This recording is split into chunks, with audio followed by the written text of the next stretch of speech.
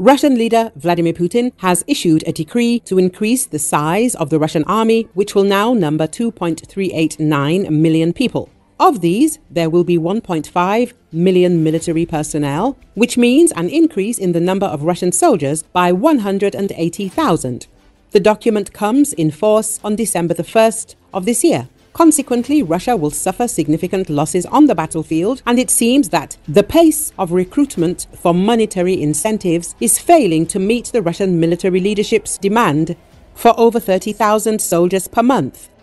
Ukrainian military expert Serhiy Zgurets says that this shortfall has caused a sharp increase in compensation for contract soldiers. It is known that one-time payments for signing a contract have risen to nearly 1 million rubles, which is more than $10,000. In Moscow, even up to 2 million rubles. However, in any case, the rate of collecting dead souls in Russia still does not meet the needs.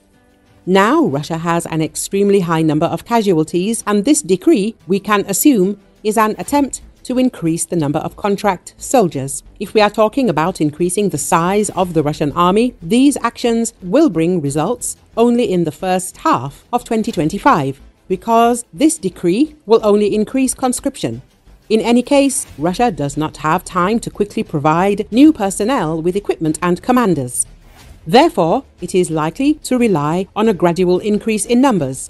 Ukrainian military expert Alexander Kovalenko says that Putin's decree shows the depletion of equipment reserves and the awareness of the looming crisis in 2025, but such an approach can only accelerate the collapse of the Russian armed forces. Russia does not have and will not have tanks or other armored vehicles for such a number of people. Russia doesn't have nearly that many tanks and the Soviet army didn't even have that many armored fighting vehicles.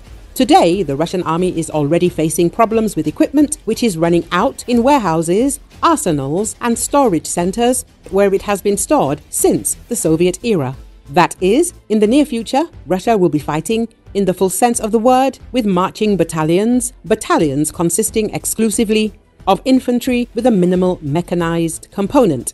He emphasized in this regard, the Ukrainian armed forces must now prepare for the fact that the positions of the Ukrainian army will be stormed by numerous human resources which must be destroyed not selectively but en masse in order to save ammunition and reduce the effectiveness of the quantitative factor that is cluster munitions and area effect weapons are one of the solutions to the emerging problem, he emphasizes. The same FPV drones from the precision strike category will increasingly have to become volumetrically detonating in the air over enemy groups, saturated with damaging elements distributed over an area.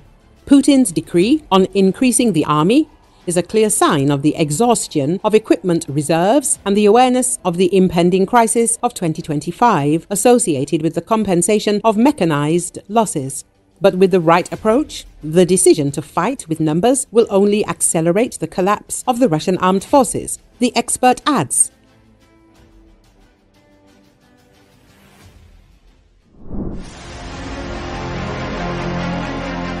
One of the most predictable features of Russia's war against Ukraine has been the apocalyptic threats from Russian ruler Vladimir Putin every time Western leaders have tried to boost the firepower of the Ukrainian army, writes Con Coughlin, the Telegraph's defense and foreign affairs editor. According to him, Putin's pathetic rhetoric is designed to intimidate Western leaders into abandoning their pro Ukrainian stance.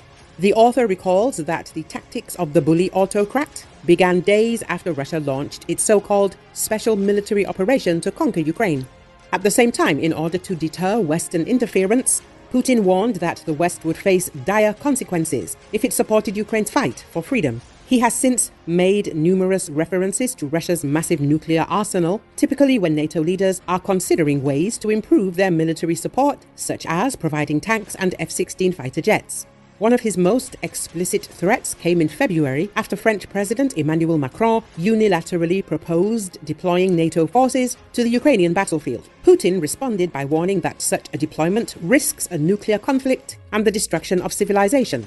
Coughlin writes, he stresses that nothing has come out of these threats, not least because China on whose support the Kremlin relies to keep the Russian economy afloat, has made it clear that it will not tolerate Moscow using any nuclear weapons. While Putin talks, Western arms shipments continue to flow into Ukraine, greatly enhancing its ability to defend itself against Russian aggression. That's not to say the Russian leader's remarks haven't had an impact on the debate over military support for Ukraine. Joe Biden, in particular, has been spooked by Putin's threats and has often delayed providing vital military equipment for fear of triggering a broader escalation of the conflict, the article says. At the same time, according to the journalist, Putin has good reason to fear Ukraine's use of Western made Storm Shadow long range missiles to strike targets inside Russia, as they could destroy 250 Russian bases near the border that are used for almost daily attacks on Ukraine's civilian infrastructure. If the Ukrainians can consolidate their recent gains in Kursk, Putin will indeed be in trouble. So empty threats are needed again. In truth, the Russian leader desperately hopes that Donald Trump will win the presidential election in November and thereby save his own skin by brokering an agreement to end the war, hopefully one that leaves Moscow in control of large swathes of Ukrainian territory. Such an outcome would be disastrous. The window of time to press the Ukrainians' superiority is becoming increasingly narrow. Western leaders must seize the initiative and let Ukraine win this war.